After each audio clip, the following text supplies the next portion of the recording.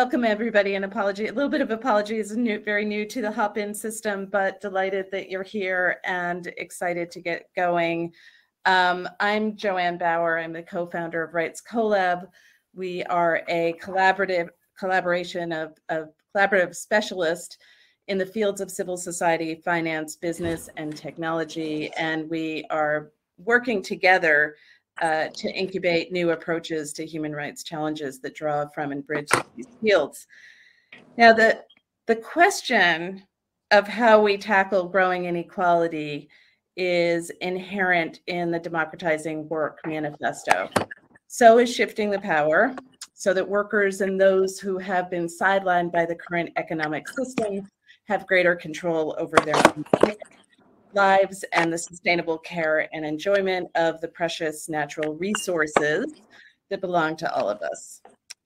During the lockdown days of the pandemic, Isabelle Ferreras and her academic colleagues came together to express so eloquently and forcefully through the manifesto what we were all seeing and experiencing the full on commodification of workers, so called essential workers, who toiled in conditions that no thinking and feeling person could declare was right. At the time that they were planning and disseminating the manifestos, others of us were considering how to address the need to hold corporations and investors to account for systematically shortchanging workers and other stakeholders.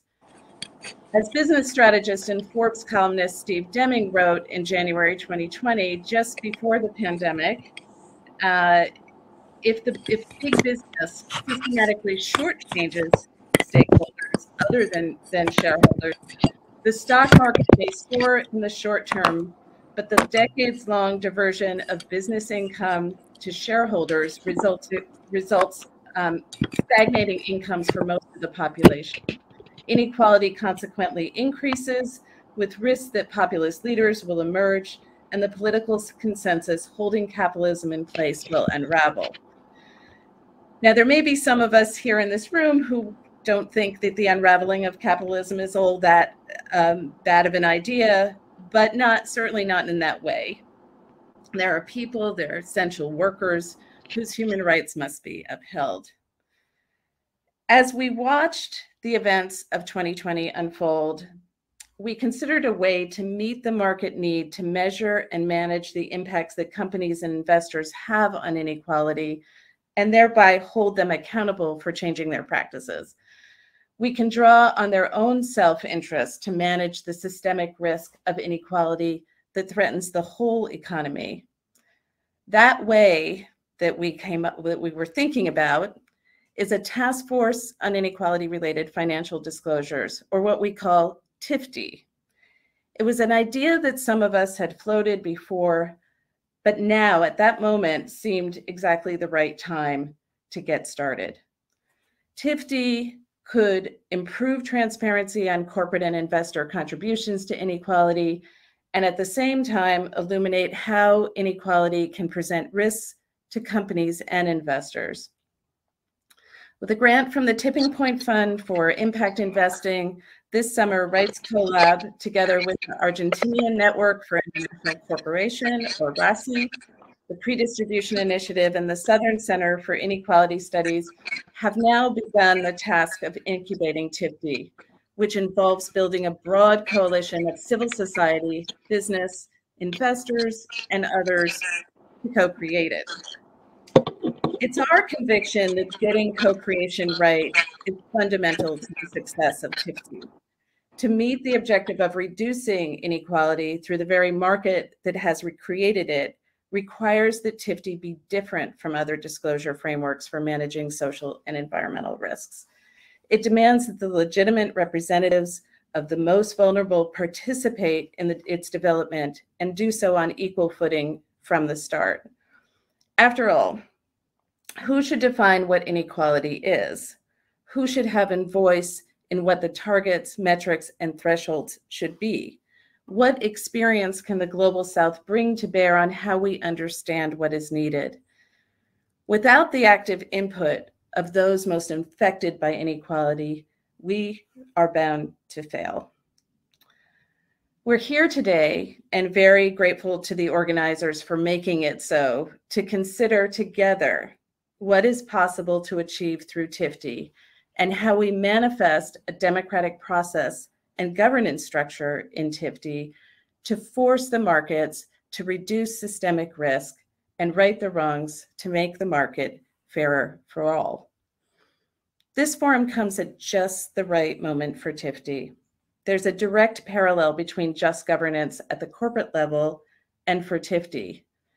This panel will intentionally engage the democratize, decommodify, and decarbonize themes by focusing on inclusive democratic processes for mitigating inequality and bringing attention to the multiple intersecting ways in which inequality manifests and is perpetuated in the market.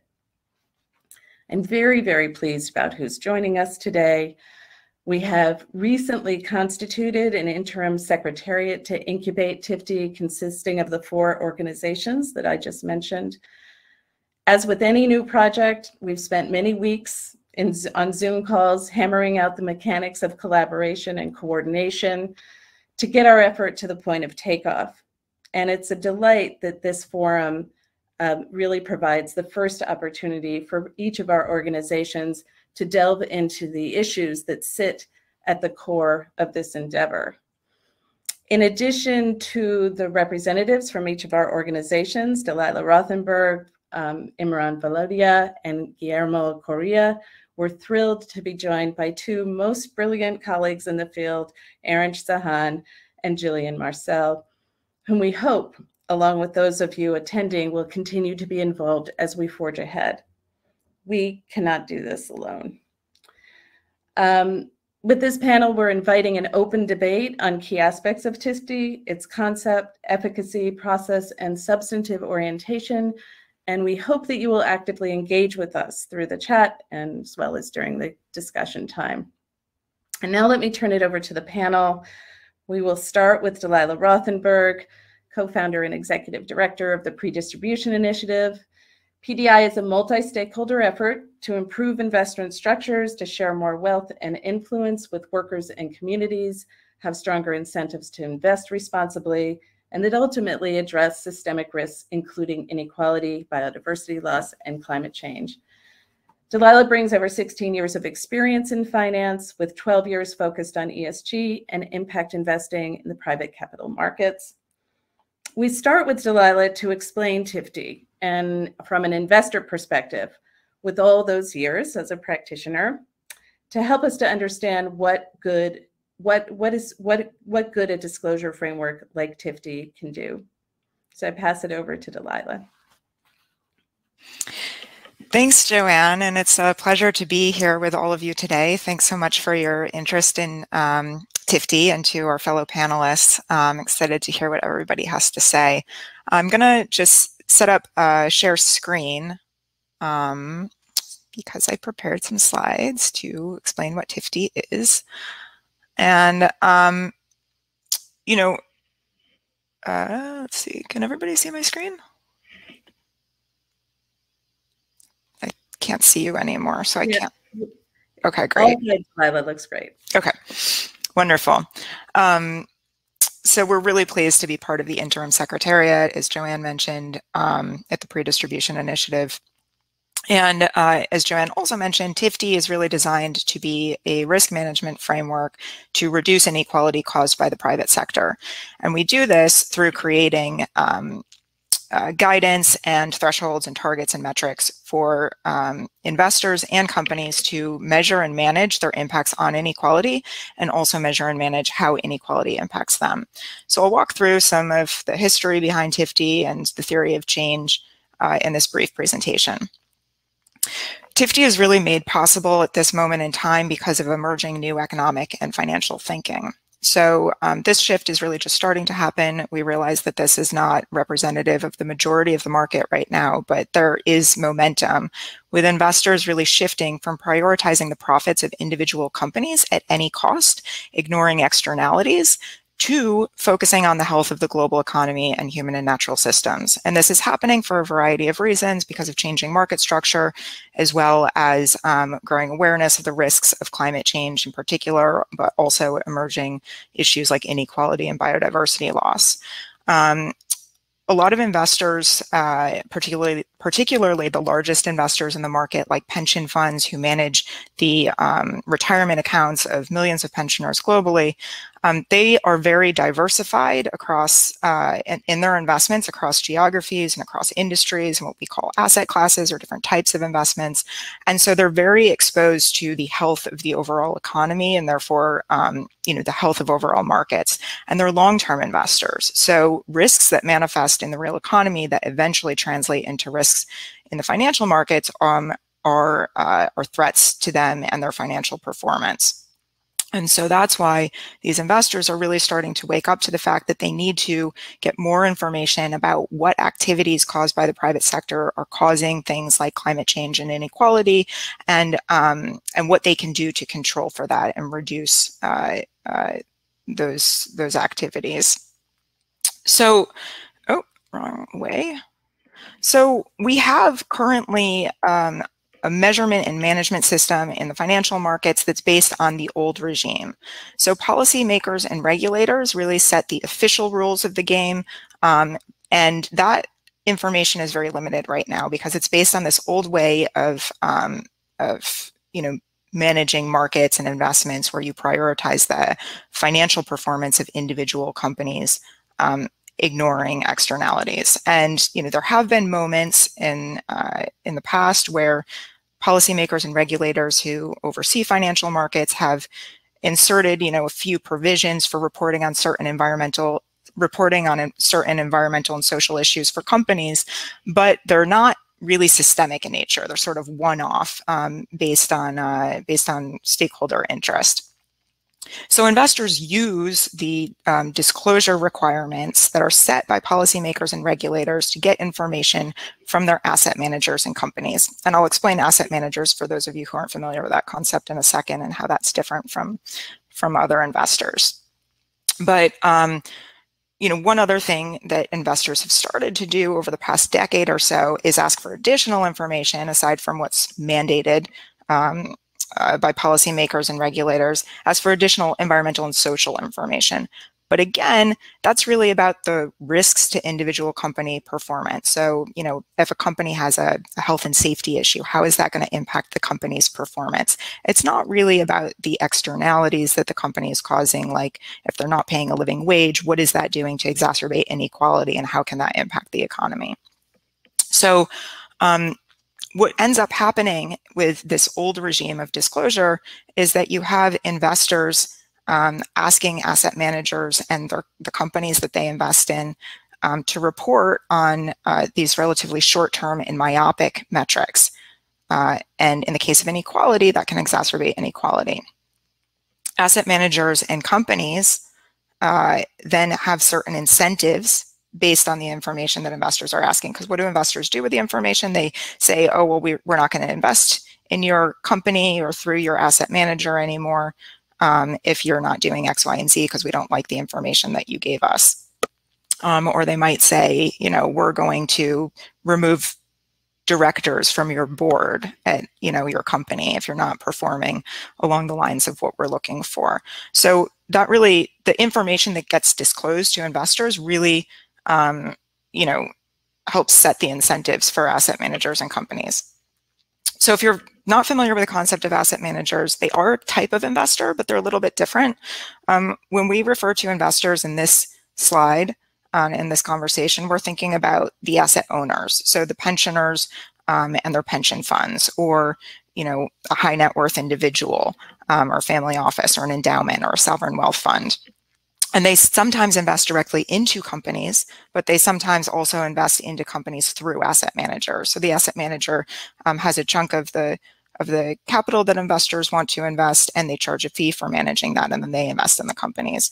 But the investors, of course, um, choose their asset managers based on you know various uh, various factors. So it's important that the asset managers um, who can contribute to inequality in their own structures. So for instance, how high is asset manager compensation? or are asset managers domiciling their funds in tax havens or um, engaging in lobbying and political spend that can exacerbate inequality. So um, investors can use information to influence asset managers and companies, and both asset managers and companies have impacts on inequality. So if you're not managing the right information uh, to, to control for externalities, then inequality grows the bottom of the slide and that can impact the economy. There's lots of emerging data about how inequality can um, cause a, a, poor economic performance and how that eventually translates into uh, uh, instability in financial markets for investors. And that's particularly problematic for long-term investors who are some of the largest and most influential in the market um, and are really beginning to take this new approach um, that I described on the previous slide of measuring and managing for externalities. Um, and it, might be worth just mentioning that these sort of new kinds of investors are sometimes dubbed universal owners because they own uh, you know, every industry, every geography, every asset class, they're long-term investors. So could use that for short to refer to those kinds of investors who are, who are measuring and managing for externalities.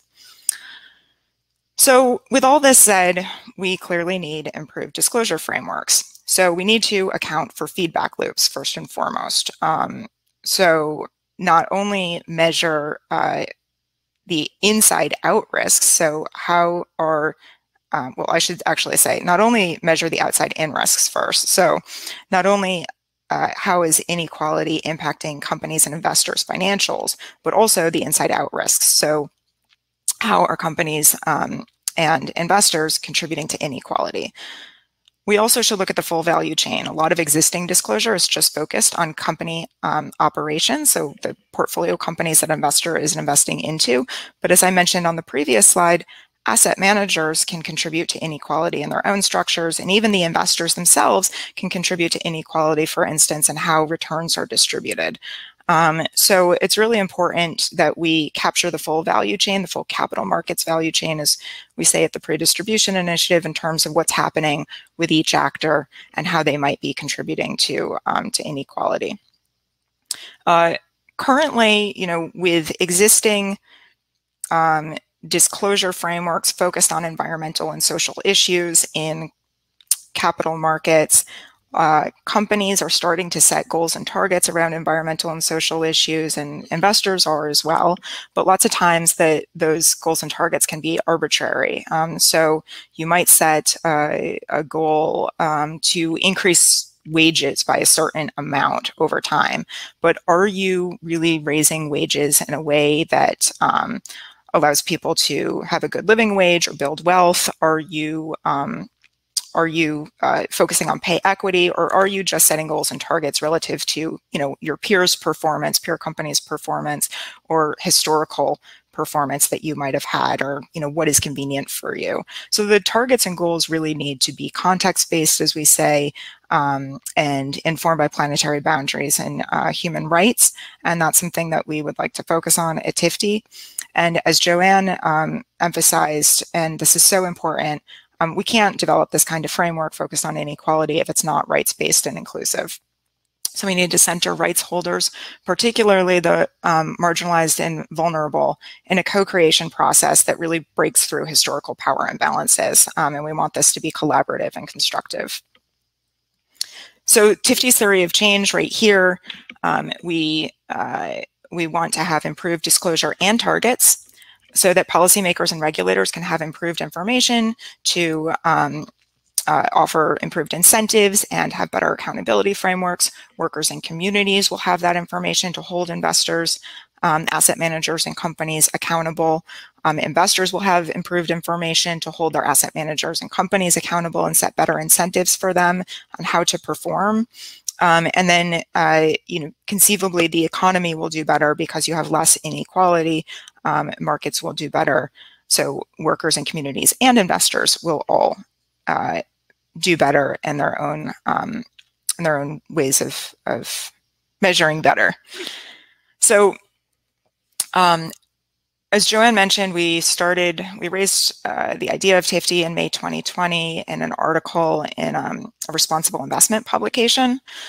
And then there was interest by a number of different stakeholders who read the article. So we engaged in a year-long process of stakeholder engagement. We developed a frequently asked questions document uh, to document what um, what folks were interested in and um, and what their questions were and how TIFD would address these different um, questions and concerns. And that is iterative and ongoing. And most recently, we formed an interim secretariat um, with RACI uh, Rights CoLab, Southern Center for Inequality Studies, and ourselves. I'm really pleased to be here with representatives of all of us today. Uh, and as Joanne said, secured uh, seed funding from the Tipping Point Fund on Impact Investing, which we're very grateful for. In terms of next steps, um, as I mentioned, we will do iterative stakeholder mapping engagement, coalition building, and research throughout the life of TIFD, um, as well as fine tuning of the FAQ and different communications materials and incorporating feedback. Um, and, and, and I hesitate to even call it feedback because this is really a co-creation process. So it's it's going to be dynamic. It'll constantly evolve um, based on new stakeholder groups that that get involved and um, changing dynamics and new information learned. Um, this year, from the second half of 2021 to the first half of 2022, we're really focusing on the, developing the governance structure. Uh, we want it to be inclusive. Um, we want it to be uh, democratic.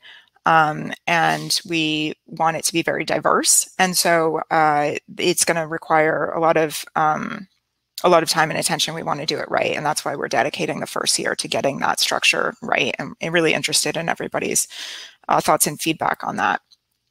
Um, we expect that we'll be ready to start actually working on the disclosures in 2023, which includes mapping existing disclosures, uh, identifying gaps in those disclosures, and then recommendations for synthesis and, and, and closure of those gaps, and then um, sort of launch a, a, test framework in 2024 with guidance and um, have it be piloted by companies and investors in 2025. And along the way, build support with policymakers and regulators to really give this some teeth and make it official um, and, uh, and deepen accountability.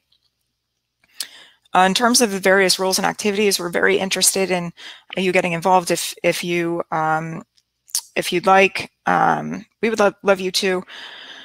We expect to develop thematic working groups on different kinds of topics. Some of these working groups are cross-cutting. They're not set in stone. They're preliminary ideas about what some working groups could be, and they're obviously not comprehensive because they're just what could fit on this slide easily to give you a preliminary idea.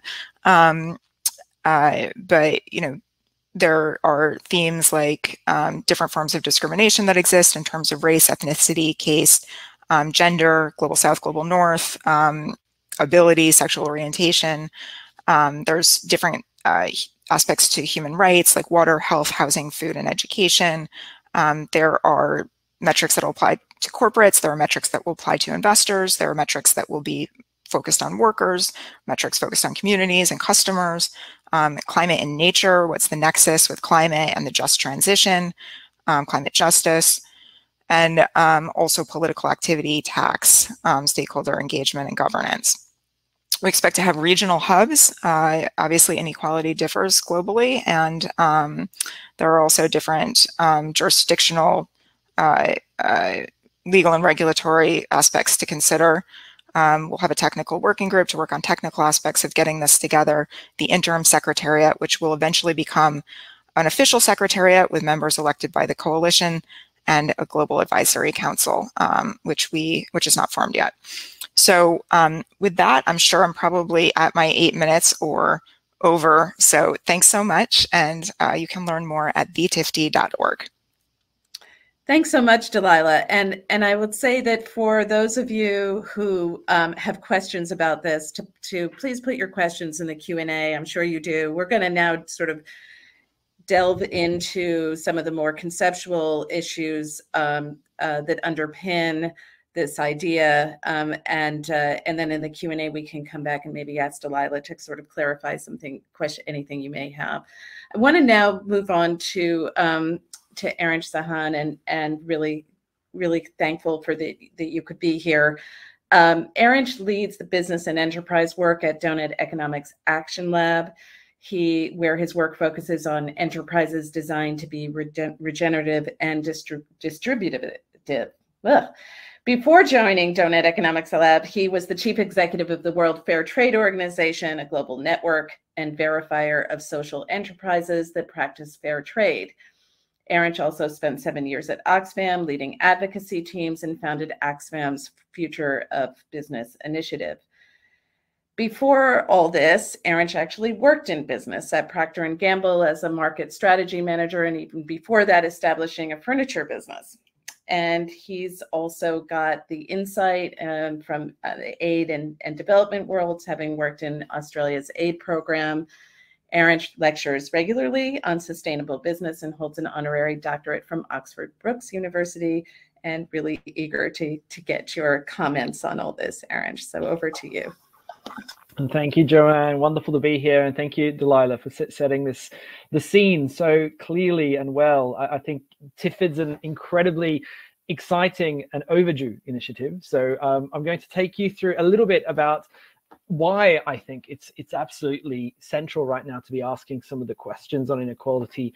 I think the way that that TIFD is is positioning itself to ask. Um, I'll give a little bit more background about about what I'm currently doing and what uh, doughnut economics is, because it really is a new vision for what prosperity for humanity can look like, um, particularly this century with the new challenges of this century. And uh, a lot of my work currently is about shedding the isms of the 20th century. Uh, this is why I also won't be using some of the isms that are in the title of this session, because I, I, think it's actually not necessarily helpful to bring the some of the 20th century baggage into, into the 21st century where we, we need new innovations in the way we structure ourselves, our businesses, our economies, our investment flows, our trade, and uh, and I think that's happening around the world in a very grassroots driven way.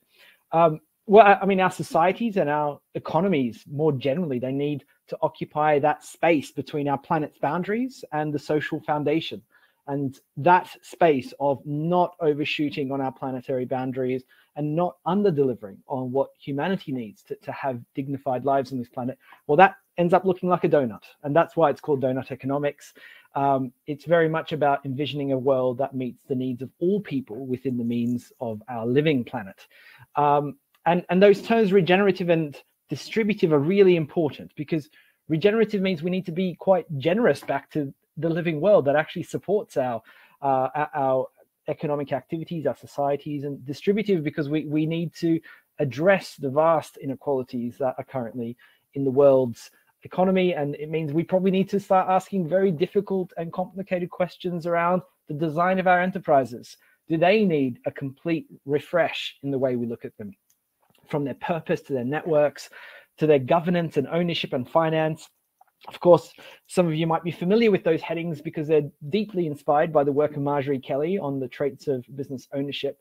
But I think that is particularly important here as we talk about inequality. So, with that said, let me just say a few words on inequality as a challenge because it's quite different to most of the other things that businesses and global leaders and civil society focus on generally. Because on a planet with finite resources, how we distribute the benefits of economic value is absolutely paramount we cannot endlessly grow production. We cannot endlessly grow consumption. Um, we, we might get to a point where we reduce out some of the footprint of our economic activity on a one-to-one basis. But at the moment, we're nowhere near that. And we've got to figure out a way to stop exceeding the limits of our planet while delivering enough for the, for the humans that occupy this planet. And at the moment, we are failing miserably.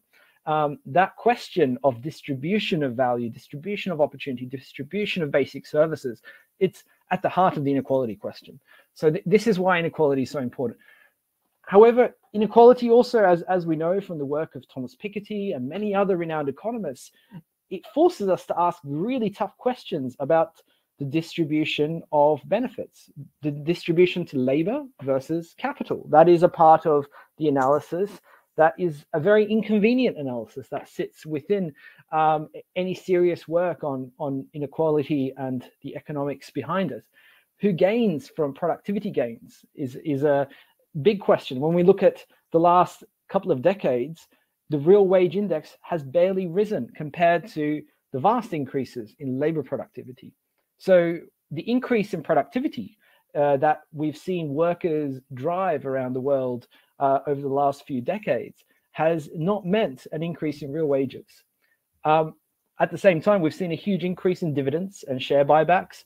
These are all at historic levels. I mean, we'll find examples and markets where maybe it, it bucks the trend, but overall, that's the global picture. Returns to capital are, are growing far, far, far faster than returns to labor. And uh, that is the central pivotal point behind economic inequality, whether it's income inequality or wealth inequality. Now, models of business drive this. Models of business are designed in many instances to drive this. Um, they determine how value is distributed among stakeholders. They determine what and who gets priority in businesses. They determine who has power in those businesses. So, of course, here I'm saying let's think about some of the experiments that have been going on. Think about cooperatives and social enterprises, how they distribute value, how they distribute priorities. Think about multi stakeholder ownership models and about voting rights and boardrooms and who's got voice, who's got priority. I mean, these are, I think, the big, big questions of 21st century economics as it relates to business. How do we design our businesses so that they yield different results than the ones that we're currently seeing as the huge problems of our planet? And of course, think profit distribution. Are dividends based on purely just the number of shares somebody owns? Which, this is a norm. At some point, we've accepted this that if you have the biggest bank account, you get the biggest dividend check. So if that's the case, if that is the central pillar of uh, our corporate models that dominate our world, then that's more or less designed to drive and supercharge inequality. Then the most wealthy get the largest dividend check. They then reinvest that. They own even more shares. Then they get an even larger div- dividend check and wash and repeat, wash and repeat. And of course, when you look at this at a global picture, you see this huge increase in inequality, huge increase in returns uh, to those who have got the assets to invest. And uh, we've seen stagnation for the for others, and we've seen uh, huge amounts of entrenched uh, and retained poverty and inequality overall. So this means that we really need to look at the distributional aspects um, in, in a very different way and no longer accept this reverse means test that has been baked into the way that value is distributed currently through our corporate models, which means that essentially the largest gains will go to those with the largest wealth to invest into the business. There's something inherently broken about that if we really care about inequality, uh, as, as, as I think we all do. This is why inequality is a relative measure. It cannot simply focus on absolute measures of workers, for instance. So there's a lot of really interesting work going on that we'll look at individual instances of workers, community members, um, supply chain actors, and, and seeing how, do, how, can we, how can we improve their conditions. That's really, really important. I've spent a lot of my life trying to focus on those things. But if we want to be intellectually honest about inequality, we have to look at this as a relative measure. It must be about the proportions and the distributive aspects of how we are get how what proportion is going to those individuals versus others. And of course, shareholders and owners are a part of that equation. So we need to talk money and we need to talk who gets what and in what proportions.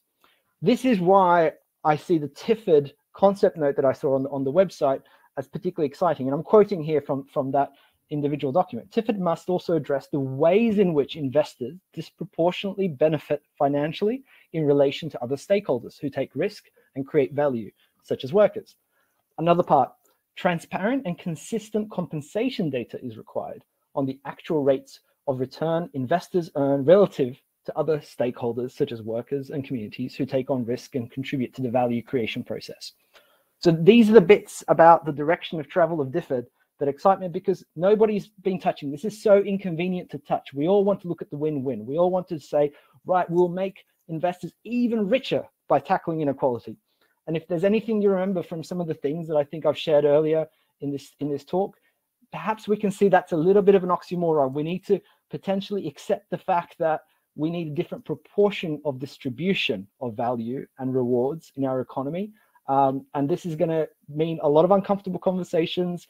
It's going to require a lot of intellectual honesty. And I'm, I'm very confident that this work of TIFD will put the data out there and the disclosure out there that will hopefully get us to a point where we start having very honest and open and goal-oriented discussions around inequality. So I'll end there, Joanne. Thanks for the opportunity.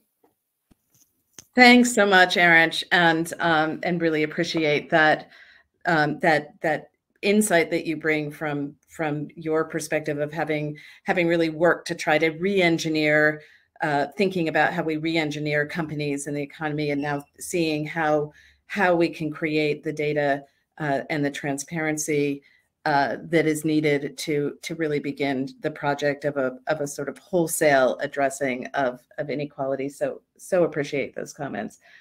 Um, next, I'd like to introduce, very pleased to introduce Professor Imran Valodia, who's an internationally recognized economist. Great to have the economist perspective and and uh, and uh, very heavy lift that the economists will be doing in this project. Um, Imran is the Dean of the Faculty of Commerce Law and Management at Wits University in Johannesburg. His research interests um, include inequality, competition policy, employment, the informal economy, gender and economic policy, and industrial um, development. He is the um, he leads the Southern Center for Inequality Studies, their partner in TIFD, um, which is a multidisciplinary cross-country research and policy initiative to promote greater equality in the global South.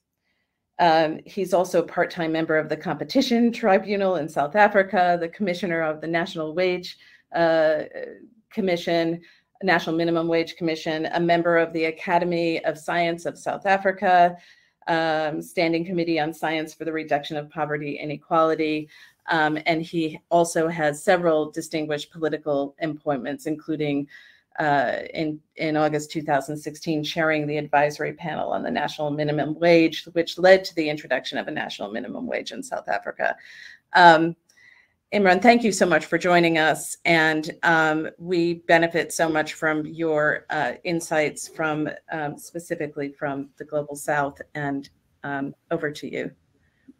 Great. Uh, uh, uh, thank you so much, Joanne, and, and, and thank you to you for uh, kind of reaching out to us and uh, kind of including us in the, TIFD project, which we're um, kind of really, really excited about and, and kind of thrilled to be a part of.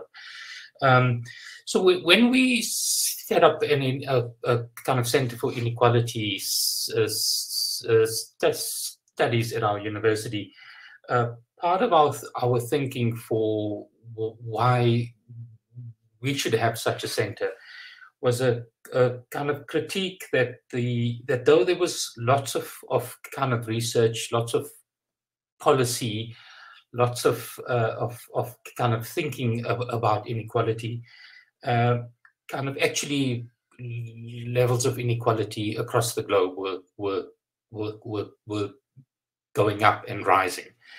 And part of the, the kind of reason why we think that that, that is happening is because the, uh, the, the, the kind of field of inequality and the policies for addressing inequality have not sufficiently dealt with the realities of inequality in the global south, where we think the, the kind of problem is at, at its most kind of extreme and where the potential implications of this growth are quite, quite, um, are kind of really, really concerning.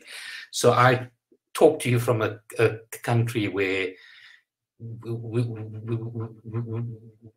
where we have something like 45% uh, of the workforce without uh, without a job, and in a country that has the highest Gini uh, uh, uh, kind of across the whole world.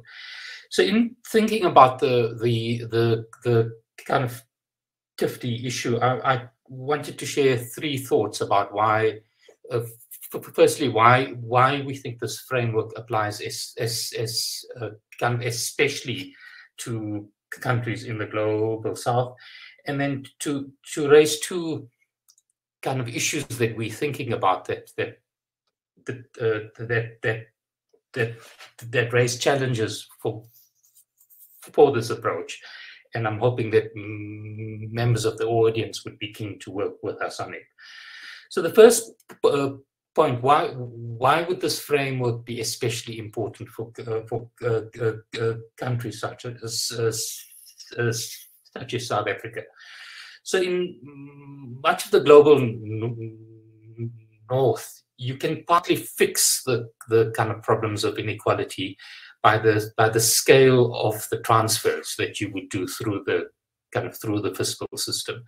So in in most kind of European countries, you have a, a kind of tax to GDP ratio in the order of 30 to 40 percent, and that that kind of allows countries in the global north to make massive transfers from from those who, who who benefit from economic output to those who are excluded.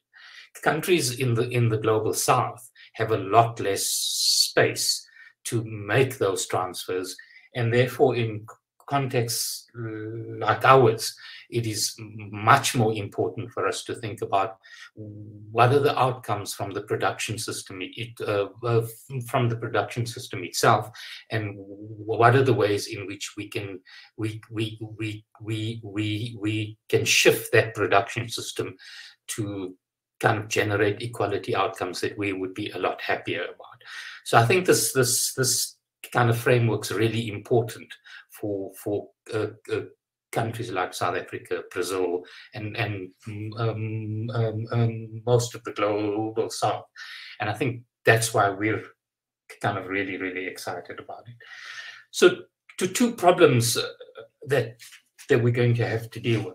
So we're kind of in the process in South Africa of amending some of our laws on uh, uh, uh, kind of disclosure and there's a proposal to to um, to kind of require companies to to to kind of report on pay gaps. So so we we will have data on on what are the pay pay gaps between the CEO and the uh, uh, lowest uh, uh, uh, paid employee, and some data on on kind of how kind of incomes are, are, are, kind of distributed inside the corporation. Now, we, we think that that this is a, a kind of really exciting uh, uh, kind of area. Kind however, when you live in a country where you have kind of half, kind of half the, the uh, uh, uh population unemployed, or if you're in India where, say, kind of 85% of the workforce is in the informal economy. It seems to me measures of this sort only give you one, uh, uh, uh, a not powerful uh, dimension of inequality. Um, and I think what, what we're going to have to do in this initiative is think about ways in which we, we can have in in in which we, we can have disclosure uh, uh, uh, kind of requirements which would would place the corporation inside its society and and and and force some types of disclosure that that that that that kind of relate to the primary uh, kind of driver of inequality, which is really those who are excluded from the corporation. And I think we're going to have to think think through that. A last point that that that seems really uh, become important to me. We cannot, I don't think, uh, deal with inequality in, in countries without dealing with the issue of inequality across uh, uh, countries. And you only have to think about the, the kind of impact of the pandemic and the issue of access to, to, to vaccines for that to be clear, that, that kind of global inequality is not is is is is is is kind of really the big uh, uh, uh, uh, uh picture issue here, and and and kind of in uh, country inequality is really a subset of that larger problem. I think the the difficulty that we that we're going to have to deal with here is that many of these disclosure instruments can really apply in Mm, national jurisdictions. Um, and the, the, the, the kind of challenge for, for, for this group is that we're going to have to think about um, measures of disclosure that would, would, would kind of link these, these uh, uh, kind of global inequality issues uh, kind of inside the corporation with those inside the country. And I think that that's going to uh, uh, pose a few interesting, but uh, but I think quite exciting challenges for us. With that, let me let me pass it back to you, Joy. Thank you so much for those for those insights and really really important insights um, for for all of us. Um, uh, I can't emphasize enough how how rarely we actually get to hear about that and these sort of larger discussions around um, inequality and disclosure frameworks and metrics and so forth. And this is why it is absolutely so essential that we depart from the way that governance that these that these disclosure frameworks have been created in the past and really create an inclusive uh, process so we can have the benefit of these kind of insights and and know and and, and be i believe on a much better path towards uh, achieving our goals. So we've sort of moved into uh, the kind of comments section of our of our panel and um, the and so first we'd like to hear from uh, Gisha Guillermo Correa, who is the executive director of um, the Argentinian Network for International Co Cooperation, or RACI, another member of the International Secretariat of TIFD. Um, is a civil society network based in Buenos Aires, and um, and uh, uh, Guillermo himself has been working in civil society for more than 15 years. He's a member of the executive committee of Civicus and of um, AGNA. He was uh, co-chair of the C20 uh, Civil Society Affinity Group during the Argentinian presidency of the G20. He's a political scientist with a master's degree in international relations, and he teaches in sev at several universities, both inside and outside of Argentina.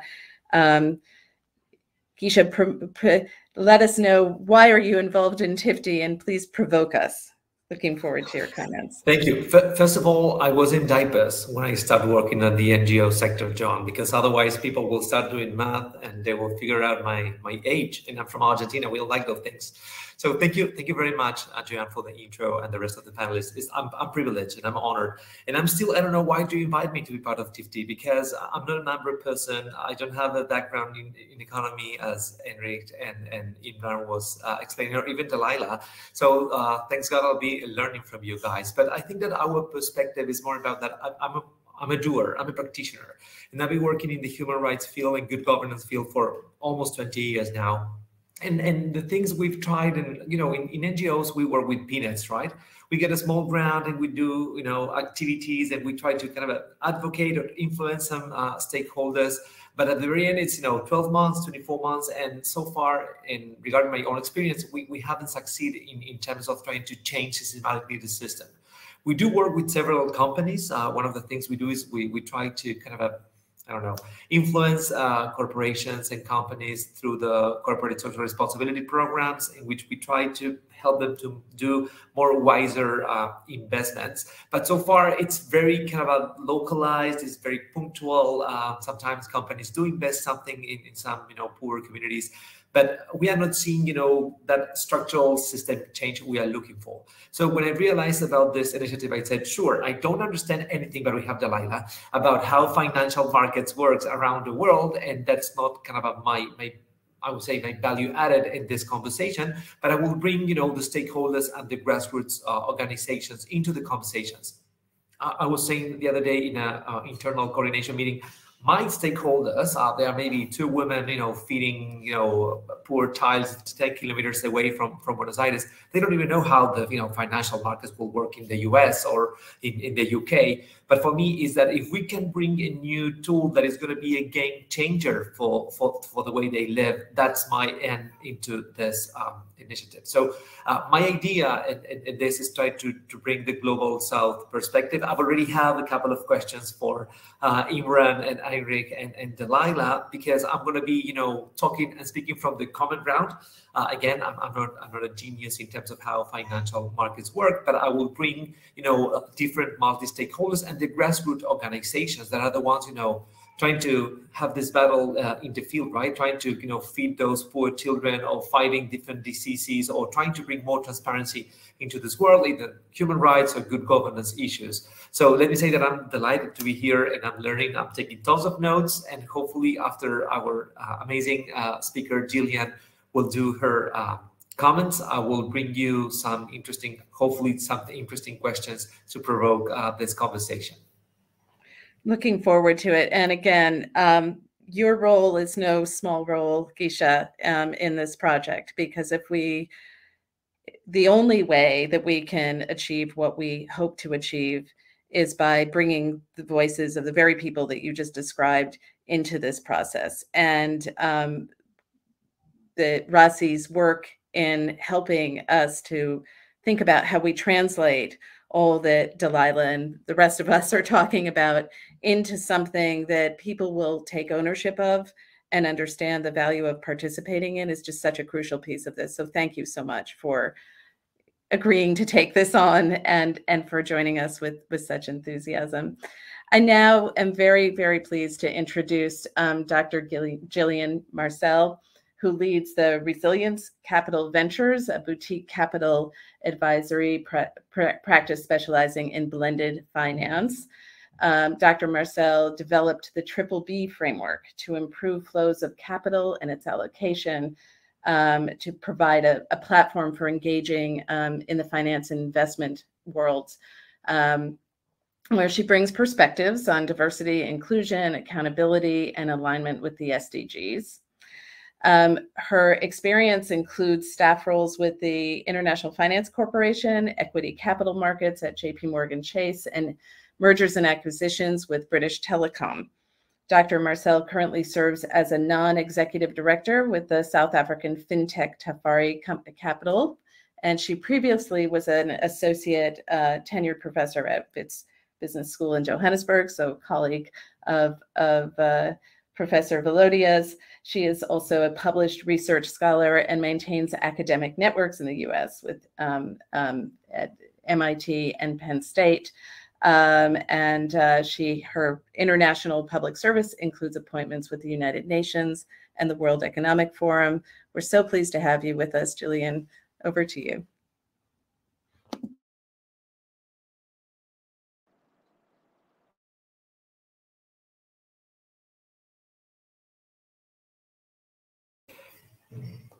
Gillian, you're muted. Unmute yourself. Gillian, can you hear us? Uh, I think, Gillian. I think she's. I think she's muted too. Having bandwidth, some bandwidth issues, I think. Gillian, um, can you hear us?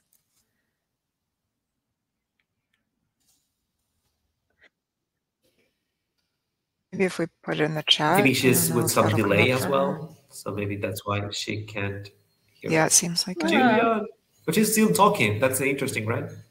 She may be asking where we. Uh, Gillian, can you hear us? She's now not on mute. You can hear us? Oh, I am so sorry. We're having having issues. Um, I there we okay. I hope I I hope um, Ryan. I hope you can help us to to get Gillian back. Um, and uh, in the meantime, I'd like to. I see we're actually running a little bit short. Um, let me see where I'm having my own troubles with the system. So let me have see where we are um, on the Q and A. Great. Um, I see that we do have some questions, but before them, Geisha, you promised to provoke. So let's go for it. Maybe I can start with uh. Uh, and, and, I was thinking uh, during your uh, presentation, of course, inequality means different things in the global north and in the global south for sure. And I was thinking, and also this is related what Imran was saying. I, am living in a country, even though it's a G20 country, right? Argentina is one of the G20 countries that at least 50% of our uh, labor force it's uh, informal. So how do you think that uh, a framework like TIFD could work in a scenario like Argentina? And I could say that, you know, uh, Latin America is the most unequal continent in the world. So for us, this is a huge thing. This is not just something that we, I mean, we deal with this daily basis. And to be honest, I mean, COVID came here only to make it even worse. So how do you think that, you know, taking into account the challenges we have in the global south with inequality and having around the 50% of our task force out the system, how do you think like a framework like TIFD could could work? Well, uh, and I think we've got Gillian back too. So uh, let me know, Joanne, if you want me to, to, to, pause and come back to that as a cliffhanger, or or should I plow ahead with with the question? Oh, we do have Gillian back. Um, you want to take on that quick question, and then we'll go, sure. go over to to Gillian. No, I, so, I, I, think there are a few aspects of, of this. Uh, one is the global value chain aspect and and i think earlier delilah also mentioned in her introduction that so much so many of the efforts of measuring inequality and aspects of inequality are missing the international supply chain angles you know there's a lot of very deep rooted attempts to understand what's happening with workers um, rarely is it proportionally measured usually it's at a very absolute level you know in terms of are we getting to a living wage? Do we have certain conditions that, that are helpful potentially to, to drive down inequality? But the actual inequality question, even there, is, is it measured in, in the way that I think it could be? Uh, but the international value chain bit is even worse, you know, particularly when you get below the first or second tier. And, uh, and any country, I think, that has a significant export market or and is part of international value chains uh, to really drive down inequality means we need to get beyond even stakeholder analysis, going beyond just going suppliers are stakeholders. Well, no, within the suppliers, there's suppliers of suppliers, there's the workers of suppliers, there's the communities of suppliers around them. So we need to sort of, I think, get get far beyond that and start thinking about how value is distributed to different stakeholders within supply chains themselves. Uh, the other bit I think is around the informal economy, which again requires a much deeper dive into what's happening in in all the different supply chains. A lot of you know informal production is happening in the fashion sector, for instance, around the world. Home workers, you know, there, there are groups of artisans that, that are in different parts of the world that are organized in different ways. And there are ways of tracking where the money goes, you know, but I think it requires quite a bit of appetite to, to do some of that work to understand how value distribution is working and understanding how uh, how then to deal with some of the uncomfortable things that will be uncovered when we start looking at sort of piecemeal rates and the way that, that workers, artisans, farmers are paid around the world, waste pickers are paid around the world who are in very informal relationships. And the last bit around that would be how do we organize those individuals in the informal economy into business organizations themselves so that they can be represented so cooperatives of waste pickers are emerging, for instance. One of the last things I did at the World Fair Trade Organization before I left was to support a group of waste pickers in India to uh, who are collecting plastic for to be recycled into global value chains to turn into not only a cooperative that then owns its own social enterprise, but one that is 100% aligned to the 10 principles of fair trade they've now begun exporting into uh, and, and selling into a whole bunch of global brands, including the Body Shop, who, who have hugely uh, supported that process, for instance. So I think we we can also take quite a few initiatives that start looking at the business models that that are giving greater voice, priority, and value to uh, individuals in the informal economy, just as we do with formal sector workers. Geisha, I think you you really poked poked Aaron's passion right there and some work that he's been and working on for uh, in pioneering for so long. So, so thank you for that and for your response, Aaron. Um, Gillian, do we have you? I hope so. Yeah. Yes, I think so. Yes. Can you hear me? We can hear you, and take it away. Can't wait. Okay. All right. Thank you. So I'll, I'll skip the formalities. And and plunge right in. What I wanted to say is that I'm I'm really delighted to be joining you in this conversation, mainly because it is a conversation that is taking place within the context of a group of people who have a tagline that says from an op-ed to a manifesto to a movement. And I think that the remarks that I want to make and to bring to this group are that that kind of approach is completely absent in the financial world. So financial investment worlds wouldn't know a movement if it if it sort of ran up and, and introduced themselves to it, right? And the reason that that is important is because it really then speaks to credibility. When you undertake an effort in order to step up a movement, it means that you're really thinking about the folks who will constitute that movement as the people that you're trying to convince. In the finance and investment world, when you write an article and it gets picked up by a responsible investor, which is no small feat, and then people uh, demonstrate um, interest, what you're usually trying to do is to make sure that the big boys, because it's boys, it's white men, middle-aged white men who hold the power in the financial and investment space, do not feel so uncomfortable by what you are saying that they will engage. So it's two completely different motives and ways of promoting momentum.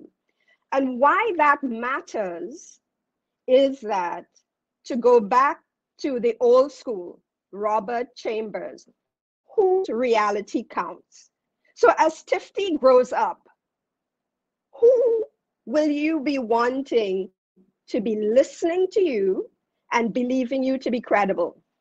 The movement folks or the people in the boardrooms? And I spend a lot of time in advocacy on LinkedIn.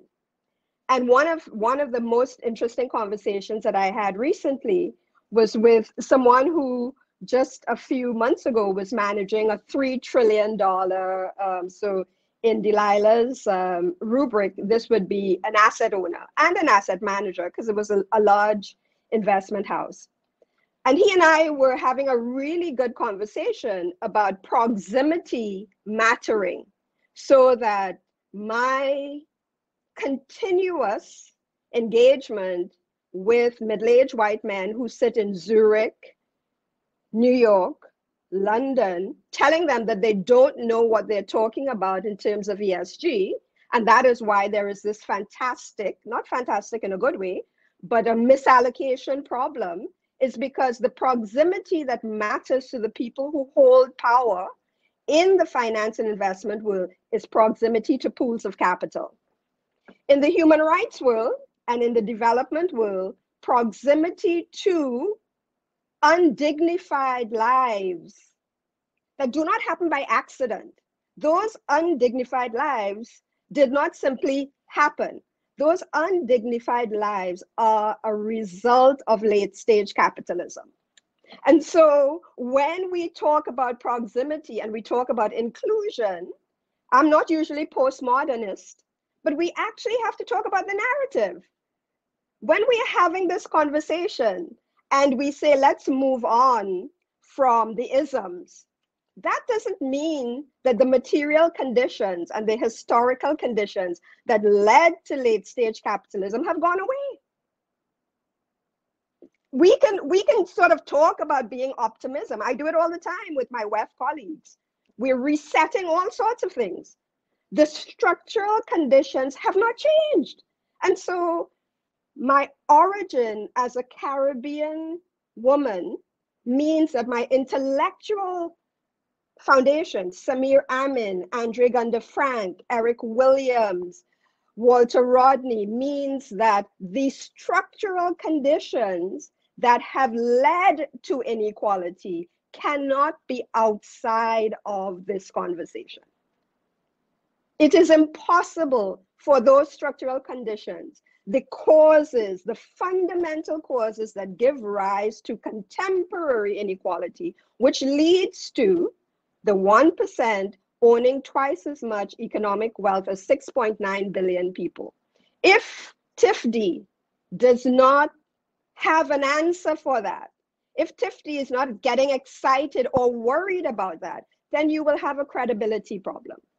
It doesn't mean that you can't embrace it, but you have to tackle it. It has to kind of give you a feeling in the pit of your stomach because otherwise you will start the conversation as Delilah did very technically very sound about looking at the causes of inequality from the point of view of financial investors and then rewarding companies who do a good job of reducing inequalities. Those are technically very, very sound, but they're devoid of the context in which 6.9 billion people have lives that are not the kinds of lives that we would want them to have. And so the credibility of TIFD and any other disclosure uh, mechanism, disclosure coalition would have to be grappling with some of those fundamentals. And I think that there are, there are ways to do that and to do it well,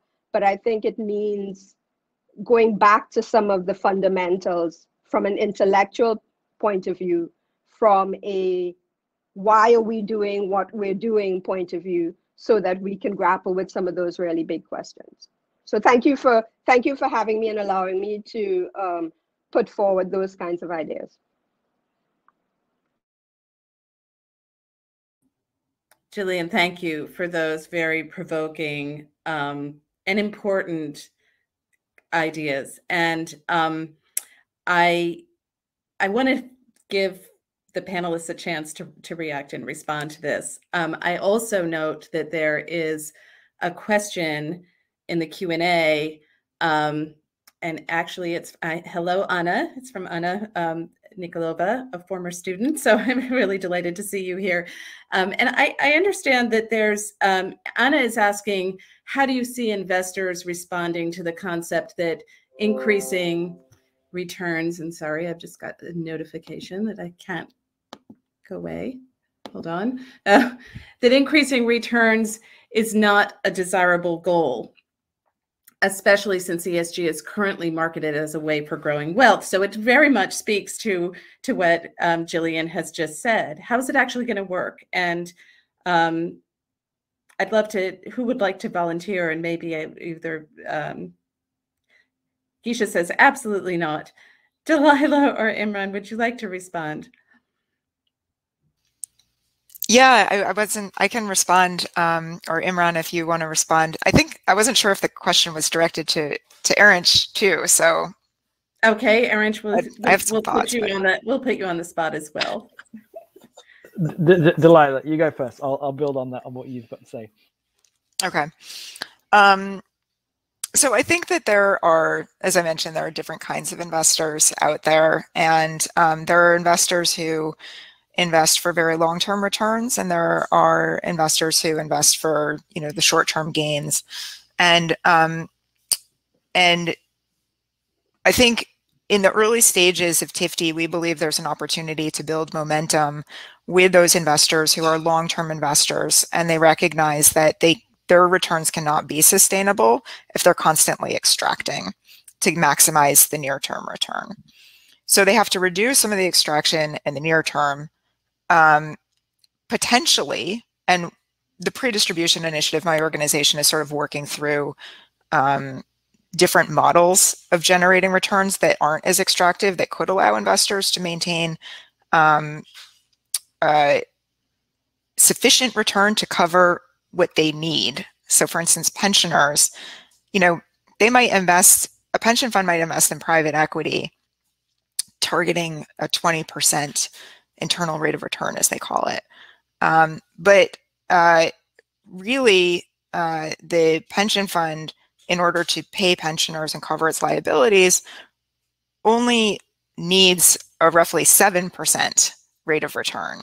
And so they invest in all different kinds of um, investments with different, uh, what they call risk adjusted returns. Some are very safe investments like um, investment grade bonds with low rates of return and low risk. And some of their some of them are very high risk investments with high rates of return. And they blend all those investments together and they say that's how we're going to get our 7% rate of return. At the pre-distribution initiative we're saying there might be um, well, actually, and I should say that the super high risk, high return investments are generally the ones that tend to be very extractive. So the pre-distribution initiative, we're saying don't overcompensate for the super low end returns, the safe investments with very high risk investments. Maybe there's a way to invest more in the middle of the risk return spectrum. So you're not extracting so much and you can make a sufficient return, not, not a super high extraordinary return, but a sufficient return in order to pay your pensioners um, pensions. Um, that's an example with a pension fund. Now, clearly that argument won't work with all different kinds of investors. There are some high net worth individuals um, or wealthy people who will just want to make as high returns as possible, and it might be harder to bring them along.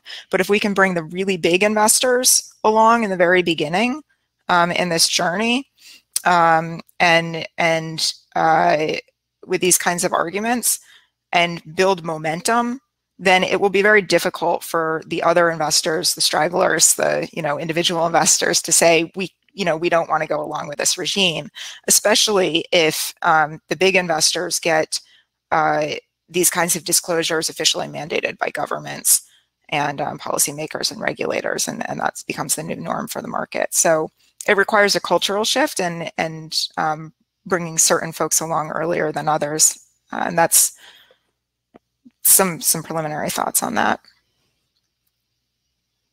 Yeah, I mean, I could I could build on that a little bit because I, I think it's it's a really important question, and and I think it, it, sort of gets to the heart of maybe the big economic challenge for several centuries now around tragedy of the commons that we all know that inequality has to be tackled. It's terrible for our societies. It's terrible for for for, for our health. It's terrible for security and for stability. It's, it's terrible for crime. It's terrible for educational outcomes. Nobody wants to live in highly unequal societies where you have to wall yourself off and you know disconnect yourself from the rest of your communities in order just to feel safe. This is an undesirable outcome that we all have. So at a systemic level, we all know we don't want to we don't want this but uh, and at an individual level it's like everybody's waiting for somebody else to move nobody wants to be the one that takes the hit on their returns in order to contribute to having the kind of economic equality that will foster a far better uh, living standard for all of us who, who have to live in these societies around the world. So I think there is this distinction between the economic case and the business case, and uh, and and who actually carries this to help us create the commons there's i think what delilah said around sufficiency versus maximization is also a really critical point.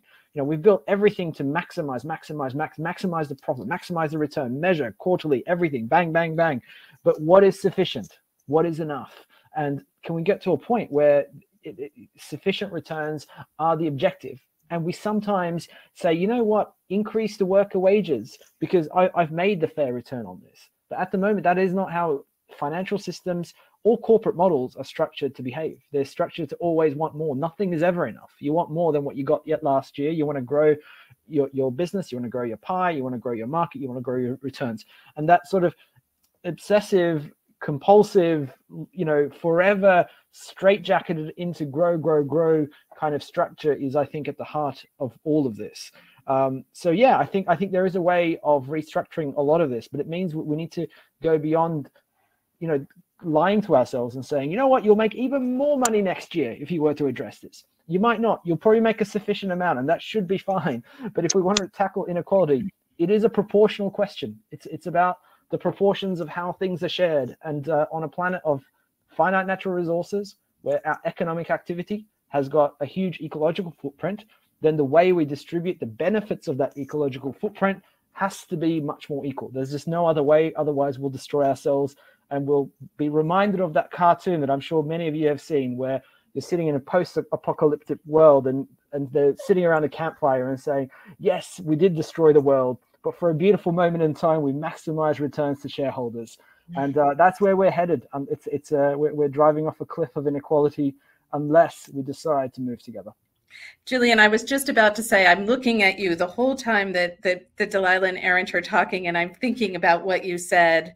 As TIFD grows up, where do we, you know, the, where do we want to have legitimacy? Which, which of these two camps, which as you define it, are so incredibly different, um, how do we really bring that forward? That is a, you know, provocative challenge, and I'm sure you have something to say about that. So over to you well i want i, I want to go in a in a, a, slightly different direction and ask Erinch and delilah to also just reflect on what they've just said for the last like five minutes because those things are not true of the entire world.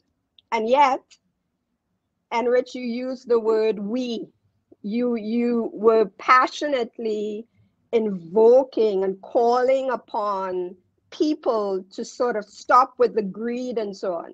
And so my reminder is in terms of cognitive justice, what you have just described is only true of societies that were based on Anglo Western values.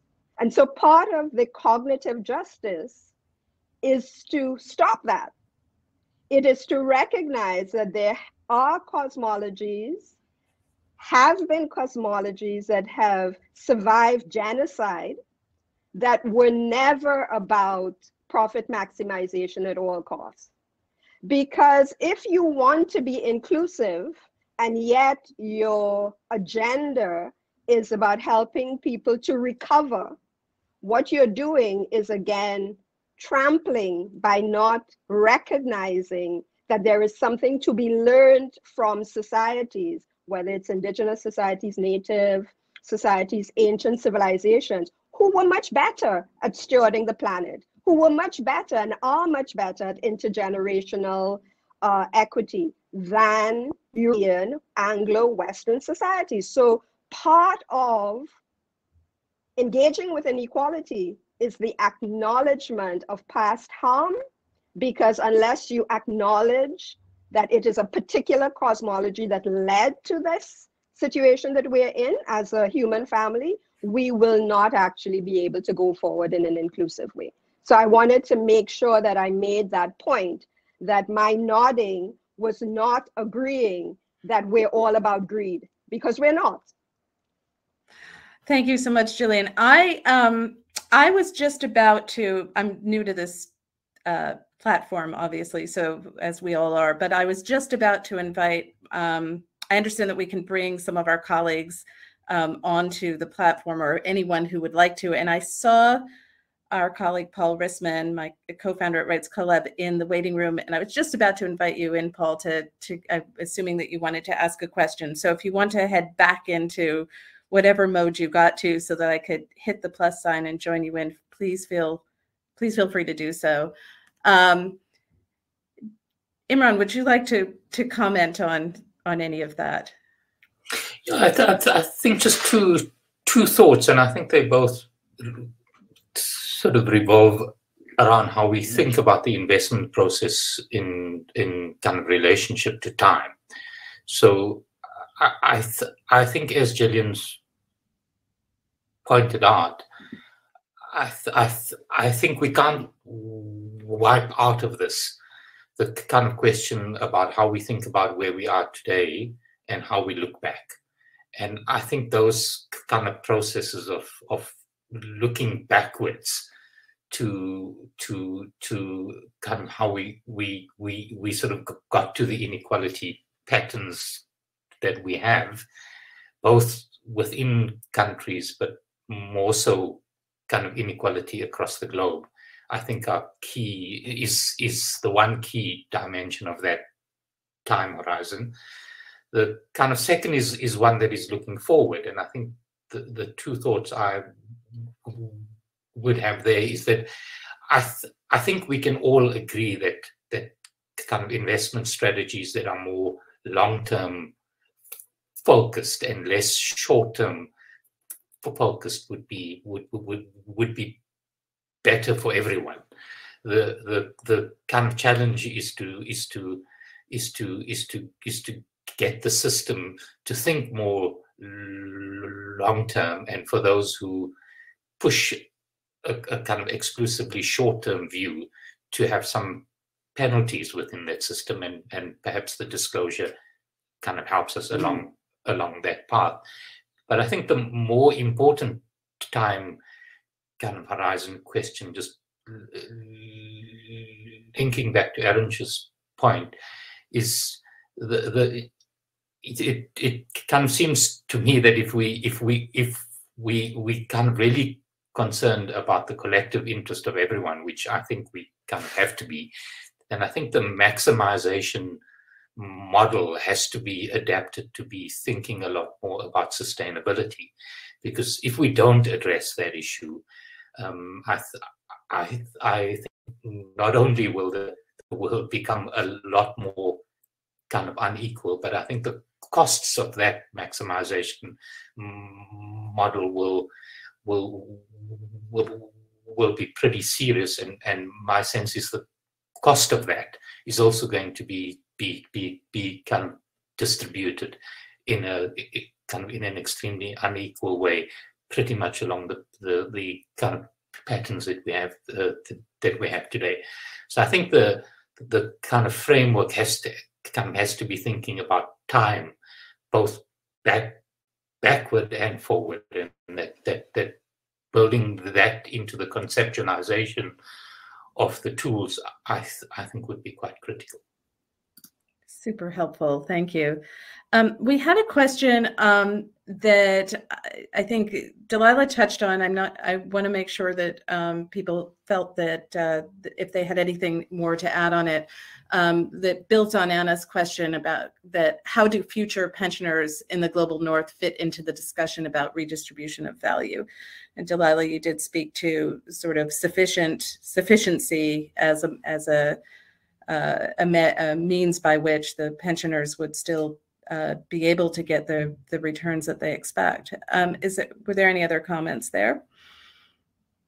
Any any I've, I've, I've, got a few. I mean, just one quick point about that, which is that um, pensioners who are workers predominantly made their money and their income through their labor and improving wages improving conditions of work is probably the most important way to improve the conditions that pensioners uh, will live in. So um, I think the other thing is that pension funds are still subscribed to this model where they are returning based on the wealth of the individual. So the richest pensioner who had the highest income and the largest amount to invest gets the biggest dividend check or the biggest return, and the the one who's got the least wealth and the poorest pensioner as part of that pension fund gets the small. So th- that is still perpetuated through that system.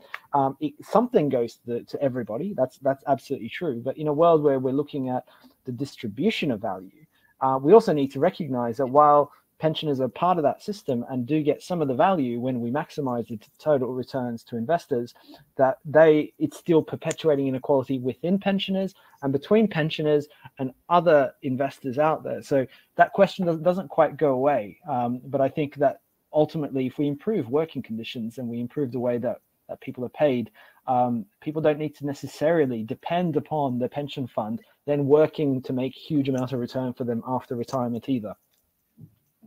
Great. Yes. Great. Was that a thumbs up, Delilah, or a, that was a thumbs up? Do, uh, do you mind? Yes. John, yeah. I, I, do want to go back to what uh, Erinch was saying before about always wanting more. I think that we are talking about human nature, right? And that's why uh, we always want more. The Romans, many, many centuries ago, created the law. So and, and let me jump into what Delilah was saying at the very beginning. So Delilah, bear with me on this. Let's travel together five kilometers away from Buenos Aires to those two women feeding children, okay? Nearby uh, my city here. How we will translate what TIFD is into their own reality. Maybe through other examples. Have other frameworks worked in different maybe areas in which you can say okay this have worked so now we are translated this into the final system and we believe that we will, this will succeed. Please join me in this journey together and let me add on to that because in the interest of time because we're just at the end and i'm so glad these questions are coming at the end someone um, a participant has asked how does TIFD intersect with the goal of infusing workplace with democratic principles? Um, some examples would be useful. So bringing those two ideas together about how do we really create, um, think about participatory, bringing democratic governance to this entire enterprise. Delilah, you got pinged, so okay, big big questions to answer in five minutes, um, and hopefully have more discussion after. I Less than that because um, I want to ask Gillian something too. So go ahead. okay, I'll be. I'll, I'll try to keep it brief.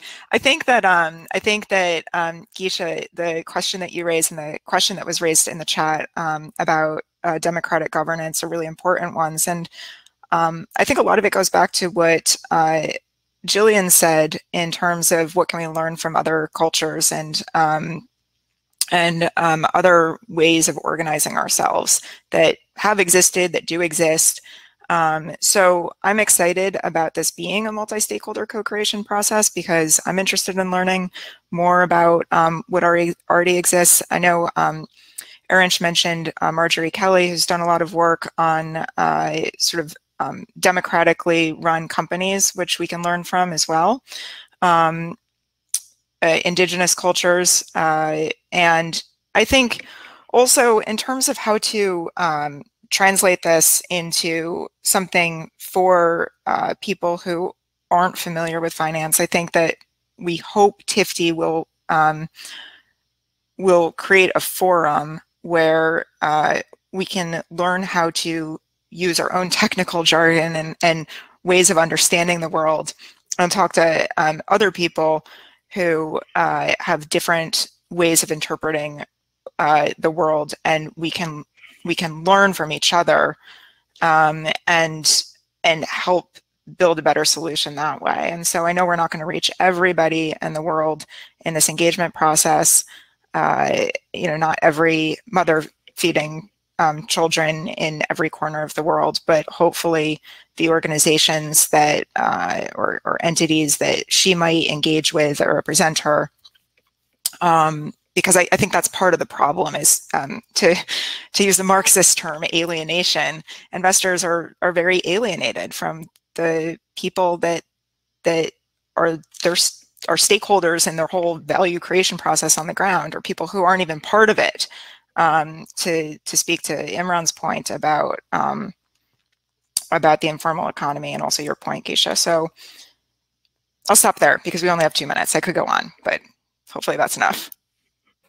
Jen, do you mind if I tap on Gillian's comment? Gillian, at some point, yes, sorry, fast. Uh, at some point, you define inequality as something that is produced and reproduced by white men in boardrooms in London, uh, New York, and uh, Geneva, to say so. How do we bring then more diversity into those decision-making spaces? How do we do that? So um, let me let me let me tackle. I wanted to make a comment to Delilah, and I'll I'll answer um, uh, question at the same time. So the the reason that I work on transactional finance is because it's not because I have anything personally against the folks who are doing at the moment, except that they're doing a really bad job. And I know that they're doing a really bad job because when I worked for JP Morgan, initiating coverage for the, the first listed company in all of sub-Saharan Africa, I used to have to engage with these guys and help them to spend, to invest in projects that would yield them 25% in uh, an IRR of 25% in US dollar terms. And so one of the things that we have to understand is the financial process is very subjective. And so the blind spots around race, around gender, around geographic origin are embedded in the kind of investment decisions that those folks make. So the reason that we have a hundred trillion dollar gap for SDG finance is because the people who are sitting in Zurich, in London, in New York, in Paris, are doing a bad job at evaluating risk. They cannot differentiate between perceived risk and real risk. And so it is that proximity. They are proximate to pools of capital. And, and my friend who I was talking about said, you know, you know, stop giving us a hard time because we are more likely to persuade big pools of capital to shift because we're proximate to them. And he's absolutely right. Delilah was able to get into responsible investor. And then she got a response because of proximity, because of relationship capital. But your lady with the four children is completely in a different social context. And the people who have the capital do not know how to deploy that capital in a way that benefits your um, your constituency. So we are actually this effort, whether it's a disclosure forum or any other effort, we're actually doing the work to make capital work better because we have to. If they knew what they were doing, we would not have this situation that we have currently. We have to help them. so so that's my answer that we have to help them and and it's not about representation it's about expertise it's about insight and so that's why the diversity of those pools of capital and the the diversity in terms of diversity of knowledge diversity of insight in terms of who do we have making decisions about investment today it must change because if it doesn't we will be having this conversation for another generation. Gillian, thank you so much. And Geisha, thank you for, for provoking or prompting Gillian to make those remarks. Um, and Gillian, I can assure you that it, it, it, very, it is our intention to maintain human rights as the North Star in this project to develop TIFD. And again, we are very grateful to the Global Forum on Democratizing Work for giving us this space to discuss uh, TIFD and um, hope that those of you who are still with us will uh, will participate. Um, know again that we cannot do this alone. Uh, we are looking for widespread participation from all voices, diverse participation, um, and uh, you can learn more about us on our growing website, which we um, new newly newly launched website or newly uh, uh, initial website, but uh, we will have increasing information there at thetifd.org. Thank you all for being with us. Thank you so much, Delilah, Imran, Erinch, Gisha, and Gillian for joining us today. My pleasure. Thanks, Joanne. Thank you. Thanks, everyone. Thank you so much.